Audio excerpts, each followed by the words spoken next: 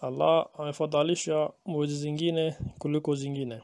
Allah anasema wa rabbuka yakhluqu ma yasha'u wa yakhtar.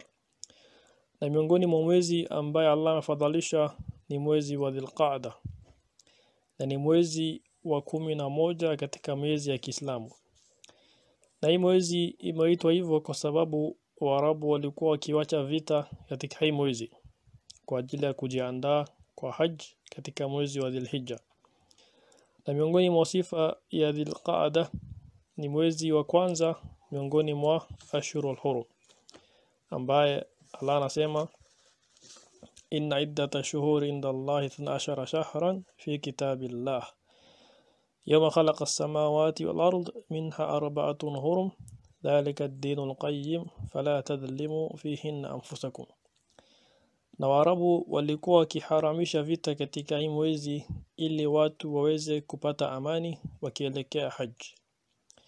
Na Uislamu ikakuja ikazidisha huruma yake yani kutopigana katika hii mwezi na ikaharamisha kuanza vita katika hii mwezi. Na pia ikakataza dhulma katika hii mwezi ingawaje dhulma katika miezi zote zimekatazwa. Na miongoni mwa sifa dhil qada ni miongoni mwa mwezi wa haj ambaye nia ya kufanya haj inafaa kuwekwa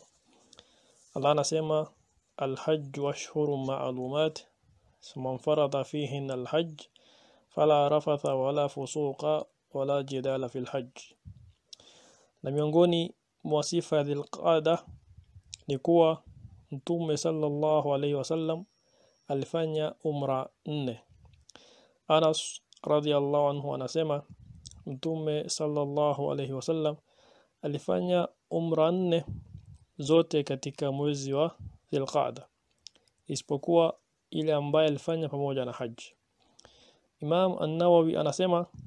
mtume sallallahu alaihi wasallam alifanya hizi umra katika mwezi wa Dhulqaada kuonyesha fadla ya hii mwezi na kuwakhalifu watu wa jahiliya kwa sababu walikuwa wanaona kufanya umra katika mwezi ya Dhulqaada ni dhambi kubwa sana